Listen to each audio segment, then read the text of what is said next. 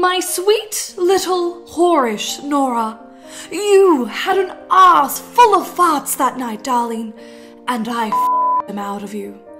Big, fat fellows, long, windy ones, quick little merry cracks, and a lot of tiny little naughty farties, ending in one long gush from your hole. I hope that Nora will let off no end of farts in my face, so I may always know their smell. This literary delight was written by none other than James Joyce, the modernist mastermind behind Ulysses, who is considered one of the greatest writers of all time. These letters, however, rarely make the reading lists. In 1957, the letters of James Joyce were sold to Cornell University, and the public soon became aware of the dirty letters, or as I like to call them, the fart letters.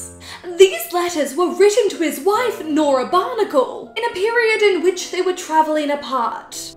I wish I could hear your lips spluttering those heavenly, exciting, filthy words. Hear and smell the dirty, fat, girlish farts go pop, pop, pop out of your pretty, bare, girlish bum. Perhaps unsurprisingly, her replies to these letters are yet to be brought forward. And so we must leave it to the imagination what Nora had to say me if you can, squatting in the closet, with your clothes up, grunting like a young sow doing her dung, and a big, fat, dirty, sneaking thing coming slowly out of your backside.